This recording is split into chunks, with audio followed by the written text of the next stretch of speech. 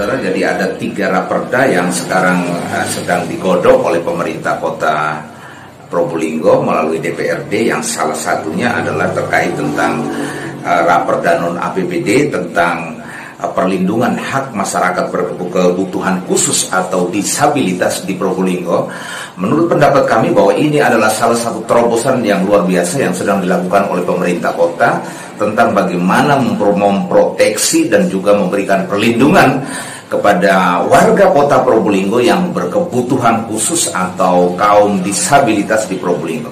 Dan ini memang merupakan salah satu terobosan yang luar biasa yang sedang dilakukan di pemerintah kota Probolinggo. Sukses buat pemerintah kota.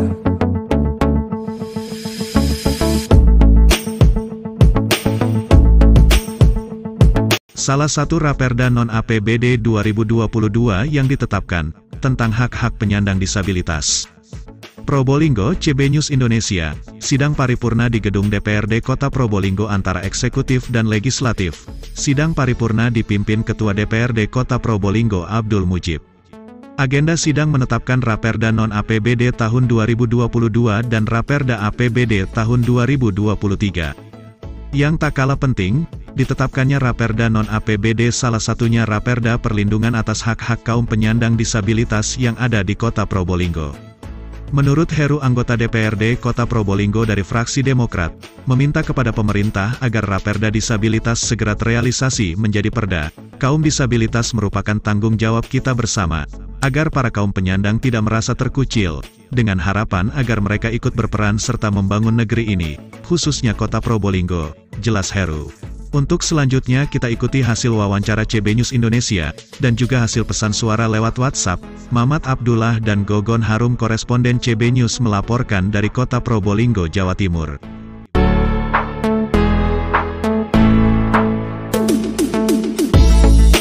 Alhamdulillah kabar baik Pak Luis. Jadi begini, salah satu raperda inisiatif dari DPRD kemarin yang sudah kita sahkan secara bersama-sama yaitu berkaitan dengan Raperda penyelenggaraan pelindungan dan pemenuhan hak penyandang disabilitas di daerah. Lah, Raperda ini kita anggap penting dan urgent sekali dengan maksud dan tujuan salah satunya adalah mewujudkan penghormatan dan pemenuhan hak asasi manusia serta kebebasan dasar penyandang disabilitas secara penuh dan setara. Dan yang berikutnya, adalah memastikan pelaksanaan upaya penghormatan dan pemenuhan hak penyandang disabilitas untuk mengembangkan diri serta me mendayagunakan seluruh kemampuan sesuai bakat dan minat yang dimilikinya untuk menikmati berperan serta berkontribusi secara optimal, aman, leluasa, dan bermantabat dalam segala aspek kehidupan berbangsa, bernegara, dan masyarakat. Itu salah satunya keinginan kita, sehingga ini kita anggap bahwa Raperda ini sangat penting keberadaannya untuk menyamaratakan semua penduduk masyarakat yang ada di kota Probolinggo, terutama kaum disabilitas. Terima kasih Pak Luis.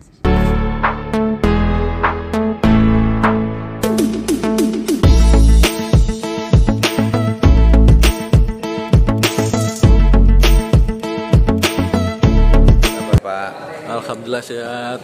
Ya, Pak, agenda kegiatan paripurna hari ini tadi seperti apa tadi, Pak?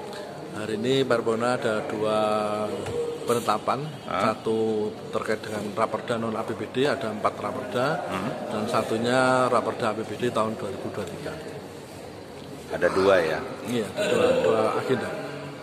Oke. Ya. Punya harapan sedikit Pak terkait raperda yang diputuskan hari ini? Uh, tentunya Raperda itu kan untuk kebaikan masyarakat. Hah? Yang Raperda non APBD ada Raperda pengelolaan keuangan daerah, hmm. Raperda tentang uh, perlindungan disabilitas, hmm. Raperda keterbukaan informasi publik, dan hmm. juga uh, satu Raperda tadi tentang uh, disabilitas. Disabilitas tadi. ada tiga. Uh, maaf, uh, Raperda tentang perubahan retribusi daerah. Oh, retribusi. Ya. Harapannya sedikit. Ya, harapannya tentunya raperda-raperda itu kan e, ditetapkan untuk dilaksanakan dan di, diterapkan pada masyarakat. Ya, tentunya ada bagian yang bisa di apa rasakan masyarakat dan juga tadi yang tentunya seperti yang perlindungan disabilitas itu kan uh. suatu kemajuan yang luar biasa uh. bahwa disabilitas uh, dilindungi haknya dan uh. juga uh, diperhatikan oleh uh, pemerintah kota Probolinggo. Jadi perhatian khusus ya, Pak ya. Iya. Baik. Terakhir dengan Pak Saulo. Dengan Hero Isyati dari Ketua Pansus 2. Oke, makasih Pak. Oke. Okay. Kabar Pak Ketua? Alhamdulillah baik-baik. Baik ya, sehat Pak ya. Pak bisa kegiatan agenda paripurna hari ini Pak? Ya jadi paripurna hari ini uh, ada dua agenda. Yang pertama penetapan terkait dengan raperda non APBD tahun 2022 masa sidang pertama di tahun 2022. Kemudian yang kedua penetapan uh, anggaran 2023 hmm. raperda APBD tahun 2023. Alhamdulillah tadi uh, terlaksana sesuai dengan yang direncanakan dan lancar hmm. gitu sesuai harapan ya ya. Harapannya sedikit pak tentang raperda hari ini. Jadi APBD di tahun 2023 eh, kami berharap dengan eh, draft atau dengan yang sudah disepakati eh, ke depan bisa lebih baik lagi. Dan kami selama mengikuti pembahasan Alhamdulillah Insya Allah di tahun 2023 nanti ini akan lebih baik dari tahun 2022 Terima kasih Pak.